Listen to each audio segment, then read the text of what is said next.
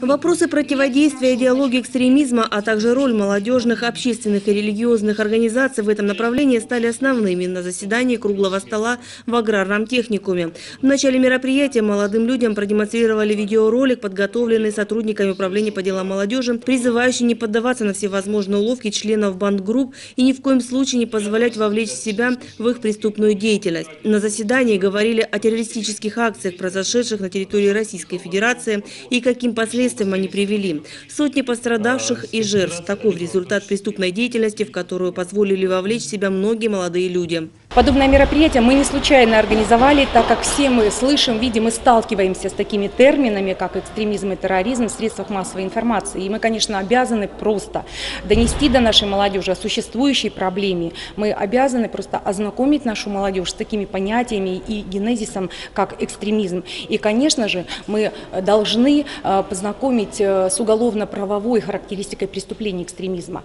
Цель таких встреч – оградить подрастающее поколение от совершения ими неверного шага. По мнению организаторов мероприятия, проведение подобных круглых столов и встреч с молодежью являются одним из главных методов противодействия вовлечения молодежи в преступную деятельность. Мы такие мероприятия намерены до конца учебного года провести в каждом среднеспециальном учебном заведении. Конечно же, мы будем привлекать и заместителей по воспитательной работе а, наших школьных э, учебных заведений. И э, все координаторы сельских поселений по работе с молодежью, абсолютно все проведут подобные мероприятия в сельских поселениях. В мероприятии принял участие адвокат. Он рассказал молодым людям, какая работа проводится для борьбы с любыми проявлениями экстремизма и терроризма.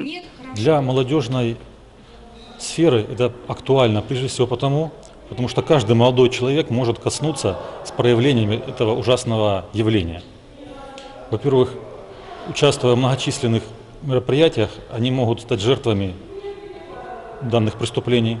Во-вторых, их, поскольку они обладают пока неустойчивой психикой, неустойчивым социальным мировосознанием, могут привлечь в качестве объектов, в качестве предмета совершения данных экстремистских преступлений. На мероприятии участники круглого стола узнали от правозащитника, какая уголовная ответственность предусмотрена российским законодательством даже за незначительную помощь и поддержку участников бандформирований. Предупредить в том числе об уголовной ответственности и о грозящих им смертельной опасности в случае, если они пойдут на поводу у подобных лиц экстремистской направленности. Наталья Твиненко, Игорь Исаков, телекомпания «Алава».